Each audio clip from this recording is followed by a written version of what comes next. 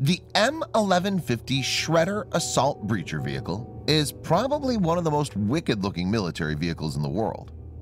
Deployed generally by U.S. Marines, it was used for the first time on December 3, 2009, when Marines pushed into the Taliban stronghold Now Zad during Operation Cobra's Anger in Helmand Province, on their way to another Taliban stronghold, Marjah, 380 miles or 610 kilometers southeast of Kabul. The vehicle is a specialized one, designed to help U.S. Marines assault and secure a beach. In this video, Defense Updates analyzes why M1150 Shredder is one of the most important assets for U.S. Marines. Let's get into details. This video is sponsored by War Thunder, the most comprehensive military vehicle online game for PC, PlayStation 4, and Xbox One, in which you can go to battle on more than 1,200 playable aircraft, tanks, helicopters, and ships from the 1930s to the 1990s. The game has an amazing attention to detail and focuses on a realistic combat experience, which is why knowing your vehicles and skill really makes a difference. It's easy to get into and all you need to play is nothing more but your mouse and keyboard or controller. Immerse yourself in cross-platform combat with more than 20 million other military vehicle enthusiasts from all over the world. Download and play War Thunder for free using the link in the description below and also get a free bonus tank, aircraft, or ship and three days of premium account.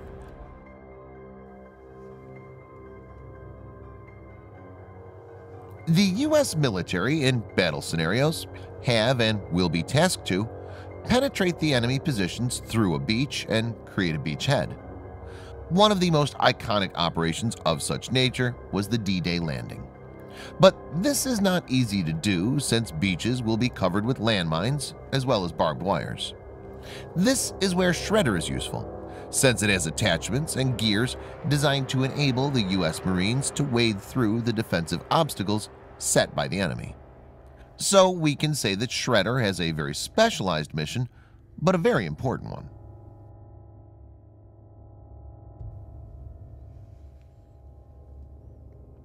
The 72-ton, 40-foot or 15-meter long vehicles are based on the M1 Abrams with a 1,500 horsepower engine, but fitted with a 50 caliber machine gun and a front-mounted 15-foot or 4.5 meter wide plow, supporting the metallic skis that glide on the dirt, and armed with nearly 7,000 pounds or 3,175 kilograms of explosives.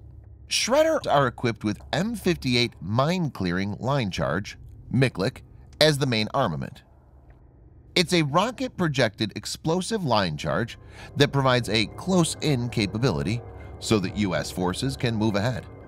It's effective against conventionally fused landmines, and when detonated, it provides a lane 8 meters by 100 meters.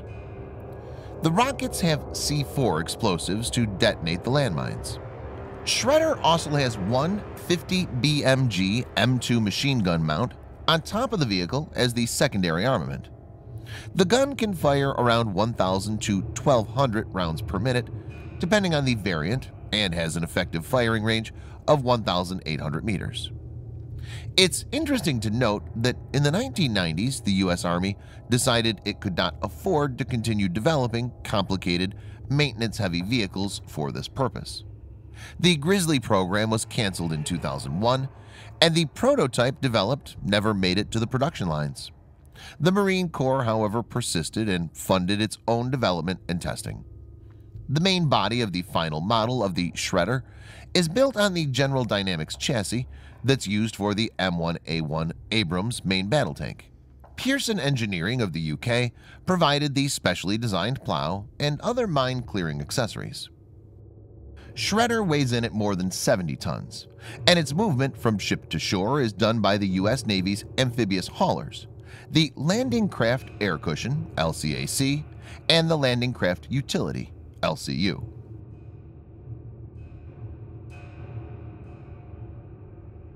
Shredder remains one of the world's most capable combat mine-clearing vehicles. Shredder has heavy armor, so the personnel are protected from machine guns as well as decently powerful cannon fires. Not only that, it can fire back, making it very difficult for opponents, especially infantry, to stop it. U.S. Marines may be moving towards more distributed operations going into the future, where large vehicles may be less desirable, but the Shredder will still remain one of the most important assets when it comes to securing heavily fortified beaches. Thanks for watching. Subscribe for more videos like this. Hit the like button if you find the video interesting, and kindly provide your feedback in the comment section. This will help us improve.